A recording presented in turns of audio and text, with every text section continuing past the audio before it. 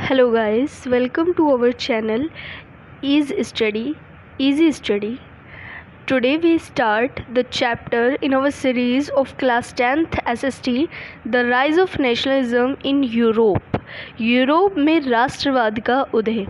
तो आज हम अपना चैप्टर 95 प्लस की सीरीज़ में ये चैप्टर पढ़ने स्टार्ट करेंगे चैप्टर ओवरव्यू पहले हम थोड़ा सा देखेंगे कि चैप्टर में क्या क्या बातें हैं जो हमको ध्यान रखनी है, जो हम इसमें पढ़ेंगे। चैप्टर का आकलन करते हैं। During the nineteen century nationalism emerge as a force that brought changes in the political and mental thinking of Europe उन्नीसवीं शताब्दी के दौरान, राष्ट्रवाद उभरा एक ताकत की तरह, जो कि बहुत सारे बदलाव लाया।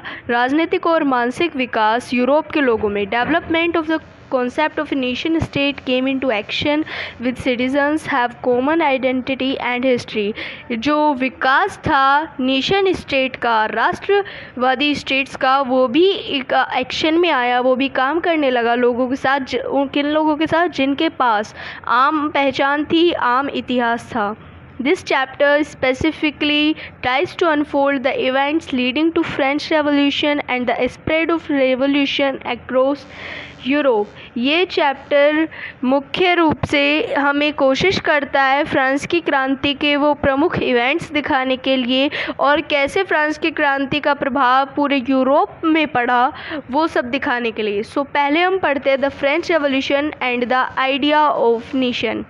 France की क्रांति और राष्ट्रवाद नेशन का विचार। The French revolution of 1789 led to the transfer of sovereignty from the monarchy to a body of citizens जो फ्रांस की क्रांति थी 1789 की, वो उसने बदलाव किया।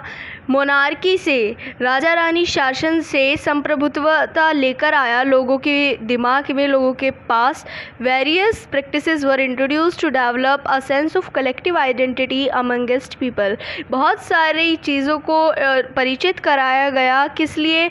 लोगों के बीच में एक सामूहिक पहचान उत्पन्न करने के लिए। Important among them are is follows कुछ महत्वपूर्ण पॉइंट्स हमारे लिए ऐसे दिए गए हैं। The ideas of la patrie the fatherland and Gideon, the citizens, pressurize the notion of a united community enjoying equal rights. जो विचार थे ला पेत्रे पितृभूमि के एंड ली किटियोन नागरिकों के वो प्रेशराइज कर इम्फेसाइज का मतलब होता है प्रेशराइज वो ज़ोर दे रहे थे किस धारणा पर कि हर हर कोई एक समुदाय में आ जाए, हर कोई किसी के पास एक पहचान हो और हर कोई अपना, अपने अधिकारों को एंजॉय करे, खुल के जिए। New constitution with citizens enjoying equal right was adopted एक नया संविधान नागरिकों के साथ आया, जिसमें हर किसी को इक्वल राइट्स हर किसी को समान अधिकार दिए गए थे, उस संविधान को लाया गया। A new flag the tricolour replaced the former royal standard flag एक नया फ्लैग आया, पहले वहाँ का फ्लैग था ट्राई कलर तो ट्राई कलर को बदल के फॉर्मल रॉयल स्टैंडर्ड फ्लैग लेकर आया गया। A uniform system of weights and measures was adopted एक यूनिफॉर्म सिस्टम वे वेट्स का वज़न और मापने का यूनिफॉर्म सिस्टम को लेकर आया गया। The state general was elected by the body of active citizen and it was renamed as the national assembly state general जो थर्ड स्टेट के लोग थे, उनको इलेक्ट किया गया एक्टिव सिटीजन्स की बॉडी से और उस बॉडी का, उस कम्युनिटी का नाम बदल के रख दिया गया थर्ड स्टेट का नाम बदल के रख दिया गया नेशनल असेंबली और ये नेशनल असेंबली लेड की गई थी मीरा बाई एंड अबिस के द्वारा। Abolition of internal custom duties आंतरिक रिवाज, कर्तव्य जो भी थे, उन सभी को बहिष्कार कर दिया गया था। जो भी अंदर कर वगैरह लगाए जाते थे, उन सभी का बहिष्कार कर दिया गया था। New hymns were compose and oaths were taken बहुत सारे भजन जो आज़ादी को दर्शाते हैं, ऐसे भजन बनाए गए थे, शपथ ली गई थी बहुत सारी। एक centralize administrative system was formulated एक केंद्रीय प्रशासनिक तरीके को तैयार किया गया था। French became the national language French हमारी नेशनल लैंग्वेज बन चुकी थी। The regional dialects were discourage बोलियाँ जितनी भी थी क्षेत्रीय बोलियों को निरुत्साहित कर दिया गया था। उन पर इतना ध्यान नहीं दिया जाता था। सो so, हमारा फ्रांस की क्रांति और नेशन राष्ट्र का विचार कैसे आया ये सब हम लोग पढ़ चुके हैं। अब हम लोग पढ़ेंगे नेपोलियनिक कोड और सिविल कोड ऑफ़ 1804 नेपोलियन आए हमारे 1804 में। फ्रांस में। Napoleon was a French statesman and military leader who rose to prominence during the French revolution Napoleon वहाँ के मिलिट्री फ्रांस क्रांति के दौरान वहाँ पर मिलिट्री लीडर थे, जो जिनकी बहुत बहुत पॉपुलैरिटी थी, बहुत शौरत थी, बहुत अच्छा काम किया था उन्होंने फ्रांस में, जब वो मिलिट्री लीडर के पद पे थे। हिज लीगल अचीवमेंट उनकी जो वैध उपलब्धियाँ थी द नेपोलियनिक कोड और civil code of eighteen hundred 1804 was proclaimed world wide and was also introduced in the countries under French control उनकी वैध उपलब्धियाँ थी नेपोलियन कोड और सिविल कोड एटी ऑफ़ 1804 के नाम से भी जाना जाता है। इस कोड के अंतर्गत ये घोषणा की गई थी पूरे संसार में और जो भी देश फ्रांस के कंट्रोल में नियंत्रण में आ चुके थे, जैसे कि Holland, Switzerland, Italy and Germany, ये इन सब में भी घोषणा की गई थी। तो कुछ पॉइंट्स है इससे रिलेटेड ये इससे रिलेटेड तो मोस्ट इंपॉर्टेंट क्वेश्चंस आता ही है बोर्ड में तो ये आपको अच्छे से समझना चाहिए, सुनना चाहिए। The Napoleonic code confirm the right to private property जो नेपोलियनिक कोड था, उसने ये कन्फर्म कर दिया था कि भाई, अब तुमको लोगों को प्राइवेट प्रॉपर्टी का अधिकार है। अब तुम अपने पास कुछ ज़मीन रख सकते हो। It established quality before law इसने क्या स्थापित किया था? हर कानून से पहले समानता को इस इस्टेब्लिश स्थापित कर दिया गया था। It abolished all the privileges based on birth इसने बहिष्कार कर दिया गया सभी अधिकारों का, जो जन्म सिद्ध अधिकार थे, जन्म से ही first class and second class के लोगों को दे दिए जाते थे। Federalism as an economic system जागीरदारी, जो कि एक आर्थिक तरीका था involving payment of federal and memorial dues by payment peasants to was ended जिनके अंदर हम लोगों को टैक्सेस देने पड़ते थे हमें टैक्सेस देने पड़ते थे, मंदिर बकाया मेमोरियल ड्यूज़ बहुत सारे देने पड़ते थे, सब कुछ देना पड़ता था किसानों को थर्ड स्टेट के लोगों को। फ़र्स्ट सेकेंड स्टेट कुछ नहीं करते थे, इस चीज़ को भी ख़त्म कर दिया गया।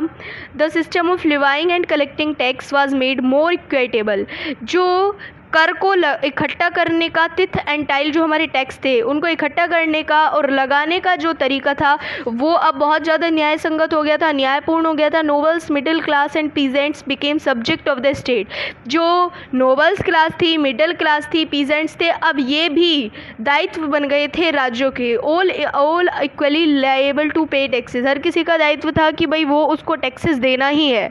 ये नहीं है कि तुम नोबल हो, तुम मिडल हो, तुम्हें देना है, नहीं। हर किसी को टैक्सेस देना है। गिल्ड रिस्ट्रिक्शंस वर एबोलिश समाज के जितने भी प्रतिबंध थे, वो उन सबको बहिष्कार कर दिया गया था।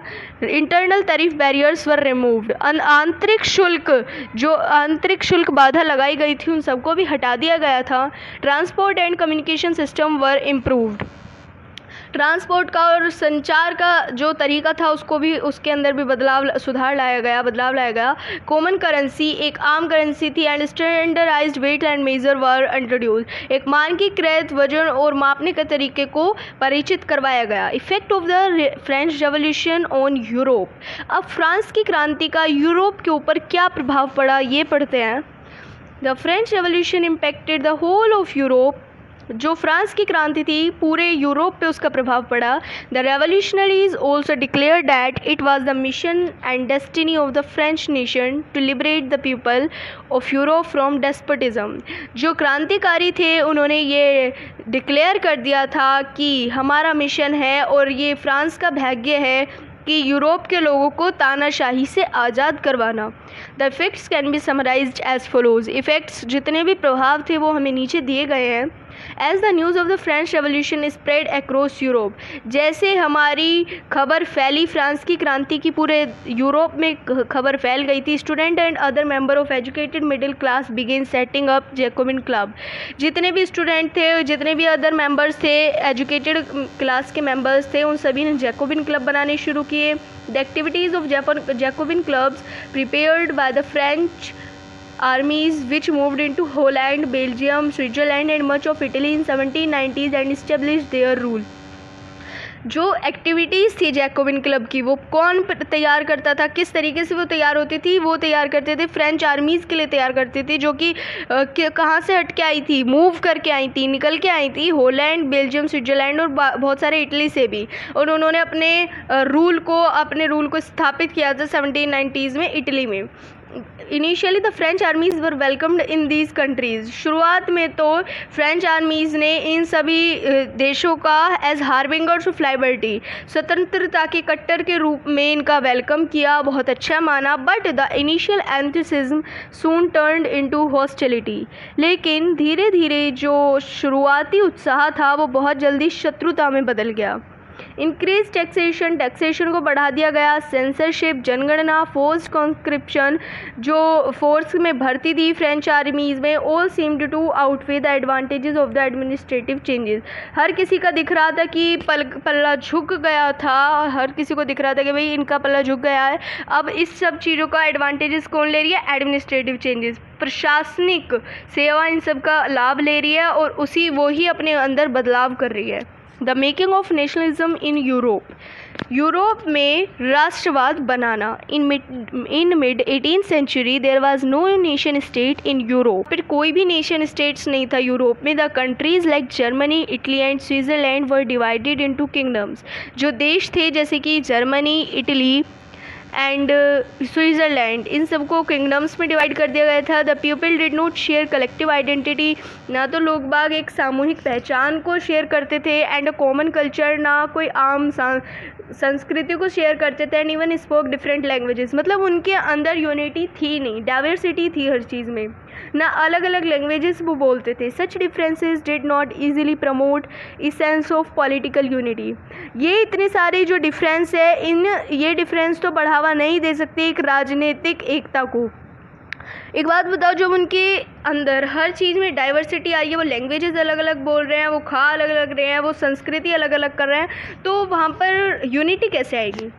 In such situation it was difficult to spread nationalism इन सभी सिचुएशंस में तो भाई बहुत मुश्किल था वहाँ पर राष्ट्रवाद को फैलाना। कैसे फैला सकते थे?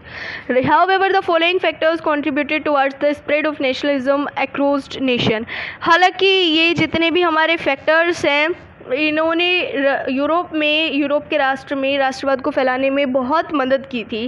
पहला क्या है? The aristocracy and the new middle class शिष्टजन और नई मध्यवर्गीय class socially and politically a landed aristocracy was the dominant and rich class in Europe. सामाजिक रूप से भी, राजनीतिक रूप से भी जिनके पास ज़मीन थी, जो ज़मीन शिष्ट जन थे, वो बहुत प्रमुख और बहुत अमीर क्लास थी यूरोप की। They spoke French for purposes of diplomacy and in high society वो बोलते थे फ्रेंच फ्रेंच एक लैंग्वेज थी, जैसा हमने पहले पढ़ा था। फ्रेंच को वो बस बोलते थे कूटनीति के उद्देश्य से या फिर हाई सोसाइटीज़ में। दो पावरफुल जो, दो पावर जबकि वो पावरफुल भी थे हालाँकि वो पावरफुल तो थे but they were less in number and exploited the poor peasants वो पावरफुल तो थे, शक्तिशाली तो थे, लेकिन संख्या में कम थे मतलब माइनॉरिटी में थे। और जो गरीब किसान हैं, उनको बहुत शोषण करते थे, सताते थे। However as industrial industrialisation spread हालाँकि जैसे जैसे औद्योगिकरण फैलता गया in new social group came into being एक नया सामाजिक ग्रुप आने लगा विच कंप्राइज एक एक नया सामाजिक ग्रुप बनने लगा, उभरने लगा, जिसके अंदर कौन कौन आते थे? इंडस्ट्रियलिस्ट आते थे इंडस्ट्रियलाइस्ट आते थे बिजनेसमैन आते थे प्रोफेशनल्स एटसेट्रा ये सब लोग आते थे। It was in this educated liberal middle class ये सब पढ़ी लिखी जो आज़ादी मध्य वर्ग की क्लास थी, इनके दिमाग में आइडिया आया राष्ट्रवाद का। Following the abolition of aristocratic privileges gain popularity जो मध्य वर्ग के लोग थे, उन्होंने सोचा राष्ट्रवाद के राष्ट्रवाद के आइडिया को फैलाने के लिए सोचा और बहिष्कार ये जितने भी एरिस्टोक्रेटिक जो भी इन्हें जन्म सिद्ध अधिकार मिलते थे, इनके पास ज़मीन होती थी, इन सब का और ये इतनी पॉपुलैरिटी बटोर लेते थे, एक तरीके से इतने प्रमुख होते थे, फिर भी इन सब का बहिष्कार किया और सोचा कि नहीं, हम लोगों को तो राष्ट्रवाद लेकर आना ही है। अब दूसरा फैक्टर क्या था? हमारा दूसरा फैक्टर था लिबरलिज़म दूसरा फैक्टर था हमारा लिबरलिज़म उदारवादी आइडियोलॉजी ऑफ़ लिबरलिज़म किसकी? उदारवादी लोगों की विचारधारा. हमने नाइन्थ क्लास में भी पढ़े थे ना liberals radicals and conservatives so liberals लोग वो थे जो जल्दी से चेंज करने के लिए तैयार हो जाते थे. रेडिकल्स वो लोग थे जो थोड़ा लेट मानते थे। पुनः परिवर्तनवादी वो जल्दी से हो जाते थे लिबरल्स फ्री माइंडेड होते थे और कंजर्वेटिव्स हमारे पुराने विचारों विचारों को पुरानी परंपराओं को साथ लेके चलते थे। सो so, पहले हम पढ़ते हैं ideology of liberalism the term liberalism was derived from Latin word liberal meaning free जो लिबरलिज्म टर्म है, ये हमारा लेटिन वर्ड से निकल के आया है लेटिन वर्ड कौन सा था? लाइबर इससे ड्राइव होकर आया है, जिसका मतलब है फ्री फ्री ये आपको मोस्ट इंपॉर्टेंट याद रखना है. For the middle class it is to for the freedom of individual and equality of all before the law जो मध्यवर्गीय क्लास के लिए ये लोग खड़े थे, व्यक्तिगत की आज़ादी के लिए और कानून से कानून से पहले हर कोई समान है इस चीज़ के लिए ये लोग खड़े थे। The concept of liberalism leads to the spread of nationalism जो उदारवादी लोग थे वो किसको लेकर चल रहे थे? साथ में रा, राष्ट्रवादी को राष्ट्रवादिता को वो फैलाना चाहते थे। There are two types of liberalism political and economic यहाँ पर दो टाइप के उदारवादी लोग थे दो दो टाइप की उनकी थिंकिंग्स थी। पॉलिटिकल एंड इकोनॉमिक अब हम देखते हैं political liberalism it emphasise the concept of government by consent ये किस चीज़ पे ज़ोर डाल रहे थे? कि भाई गवर्नमेंट से सहमति हो गवर्नमेंट से सहमति हो, इस कंसेप्ट पे वो ज़ोर डाल रहे थे.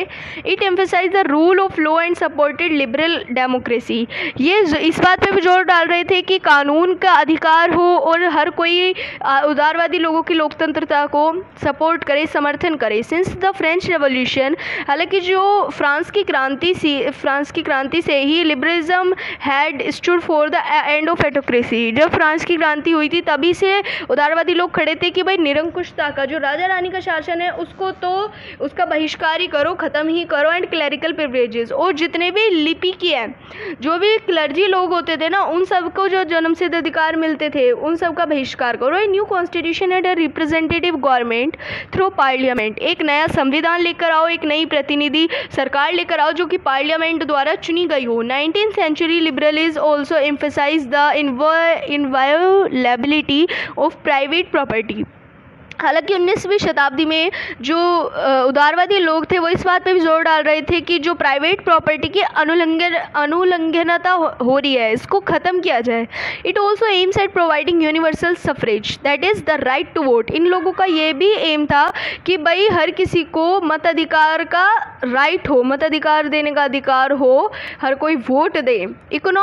इकोनॉमिक लिबरलिज्म आर्थिक उदारवादी लोग किस तरीके से खड़े हुए थे? It stood for freedom of markets and abolition of state impose restrictions ये लोग खड़े हुए थे किसकी आज़ादी के लिए मार्केट्स, बाज़ारों के आज़ादी के लिए और जितने भी स्टेट के द्वारा रेस्ट्रिक्शंस थोपे जाते थे इन लोगों के लिए मार्केट्स के ऊपर, उस सभी का बहिष्कार करने के लिए। Value of goods and services should be set by market forces जो भी मूल्य था, माल का सर्विसेज़ का, ये सभी मार्केट के द्वारा सेट करा जाना चाहिए था। Creation of unified economic territory allowing the unhindered allowing the unhindered movement of goods people and capital जो एकीकृत एक आर्थिक टेरिटरी का टेरिटरी को बनाया गया था, उसके अंदर ये इजाज़त दी गई थी कि भाई निर्बाध तरीके से हमारा जो माल है, एक जगह माल, लोग या धन एक जगह से दूसरी जगह निर्बाध तरीके से, कोई बिना ट्रबलनेस के जा सकता है। एक कस्टम यूनियन और जोलवेरियन वाज फॉर्म्ड इन 1834 एक कस्टम यूनियन बना था और जोल वेरियन बना था।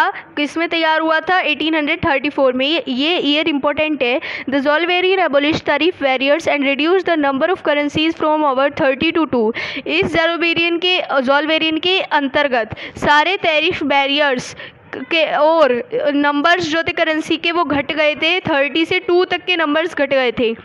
थर्ड पॉइंट आते हैं new conservation after eighteen fifteen एक नए नए रूढ़ीवादी सोच के लोग कैसे थे 1815 के बाद? The conservatives believe that ancient customs institutions and tradition should be preserve जो रूढ़ीवादी लोग थे, वो विश्वास रखते थे कि पुरानी पुरानी प्रथाओं में, पुराने संस्थानों में, पुराने विचारों में, पुरानी परंपराओं में इन सबको बचा के रखना चाहते थे। देवर ऑटो ऑटोक्रेटिक, वो लोग निरंकुश थे। Did not tolerate criticism and dissent and did no questioning about the government ना तो वो किसी की आलोचना बर्दाश्त करते थे, ना किसी से मतभेद बर्दाश्त करते थे और ना ही सरकार से कुछ इन बारे में कुछ क्वेश्चन पूछते थे, कुछ प्रश्न करते थे।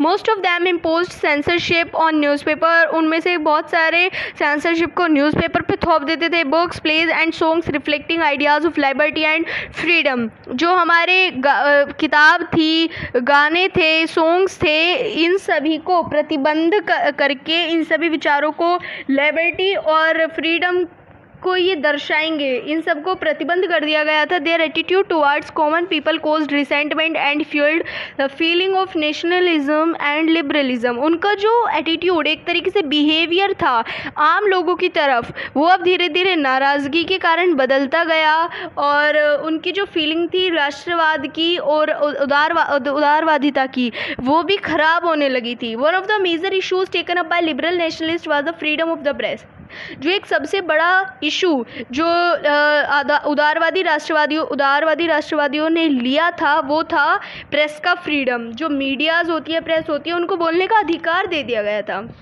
फोर्थ पॉइंट फैक्टर हमारा रेस्पॉन्सिबल है द रेवोल्यूशनरीज क्रांतिकारी। The revolutionaries were instrumental in spreading nationalism जो क्रांतिकारी थे वो कुछ इंस्ट्रूमेंट बजा के राष्ट्रवादी राष्ट्र के वादी की भावना को फैलाने में विश्वास रखते थे। The revolutionaries oppose monarchical forms and fought for liberty and freedom वो भी वो जो क्रांतिकारी थे वो भी सेम किसका आ, किसका खिलाफ रहते थे? मोनार्कियल फॉर्म जो राजा रानी शासन होता है तानाशाही शासन होता है उसका あ उसको अपोज करते थे और आज़ादी के लिए फ्रीडम के लिए, उदारवादी लोगों के लिए वो लड़ते थे। They also saw the creation of nation states as a necessary part of this struggle for freedom वो हमेशा देखते थे कि ये जो नेशन स्टेट्स का बनना है, ये एक बहुत ज़रूरी है इस स्ट्रगल आज़ादी के संघर्ष के लिए ये नेशन स्टेट्स का बनना बहुत बहुत महत्वपूर्ण है। They founded many secret society उन्होंने बहुत सारी सीक्रेट सोसाइटीज़ स्थापित की। वन सच नोटेबल नोटेबल मतलब पॉपुलर उनमें से एक पॉपुलर रिवोल्यूशनरीज थे इटालियन रिवोल्यूशनरी जिनका नाम था Giuseppe Mazzini Mazzini joined a society of Carbonari and fought for the unification of Italy Mazzini ने ज्वाइन की थी एक सोसाइटी कार्बोनरी की और वो लड़े थे इटली के यूनिफिकेशन के लिए. लेटर ही फाउंडेड यंग फिर बाद में उन्होंने भी दो सीक्रेट सोसाइटी की स्थापना की थी. कौन कौन सी थी? ये इंपॉर्टेंट है, ये तो आप लोगों को याद ही रखने चाहिए. Young Italy in Marseilles and Young Europe in Berne the romantic imagination and national feeling romantic लोगों की इमेजिनेशन क्या थी और जो राष्ट्रवादी की फीलिंग थी, उन लोगों की फीलिंग भावना क्या थी? Culture played a vital role in creating the ideas of a nation जो संस्कृति है, वो एक बहुत महत्वपूर्ण भूमिका निभाती है राष्ट्र को, विचार को बनाने के लिए। आर्ट एंड पोइट्री कला और कविताएँ स्टोरीज एंड म्यूज़िक कहानियाँ और संगीत and shaped national nationalist feeling ये सभी राष्ट्रवादी की भावना को एक शेप करती हैं, बनाती हैं। Romantic artist and poets criticise glorification of reason जो रोमांटिक आर्टिस्ट थे और पॉइट्स थे, जो कवि थे और कलाकार रोमांटिक आर्टिस्ट कलाकार थे, वो इस चीज़ की स्तुति, इस कारण की स्तुति करते थे एंड साइंस एंड इमोशंस जो विज्ञान और भावनाएँ जो थी इनिट्यूशन एंड मिस्टिकल फीलिंग्स जो भी रहस्यमंद भावना थी मिस्टिकल फीलिंग्स रहस्यमंद भावना थी वो वर इनक्रेज उन सभी को इनक्रेज उन सभी को उत्साहित किया जाता था। डिस्करेज निरुत्साहित नहीं, उन सभी को उत्साहित किया जाता था, बढ़ावा दिया जाता था। Their effort was to create a sense of shared collective heritage उन सब का प्रयास क्या था? किस चीज़ को बनाने के लिए वो ये सब प्रयास कर रहे थे? कि एक सामूहिक विरासत बने and a common culture past as the basis of nation और एक आम सांस्कृतिक पास्ट जो है, एक राष्ट्र के बेसिस पे वो बन जाए। एक नेशन नेशन स्टेट को जब तक हमने पढ़ा ना कि यूरोप में कोई नेशन स्टेट नहीं था तो उन सभी को बनाने के लिए इतने सारे फैक्टर्स लगे। इन्होंने इन सभी ने कोशिश की और मेन कोशिश यही थी कि कुछ भी करके यहाँ पे भी नेशन स्टेट्स बन जाए क्योंकि वो ज़रूरी था फ्रीडम के लिए। सो so, अभी हमारा ये फ़र्स्ट पार्ट कंप्लीट होता है, बाकी आगे सेकंड पार्ट में हम लोग पढ़ेंगे hunger hardship and revolutions unifications of Italy and Germany and etcetera और बहुत कुछ पढ़ेंगे। सो मिलिए, अब फ़र्स्ट पार्ट को एंजॉय कीजिए एंड सेकेंड पार्ट का वेट कीजिए। Bye guys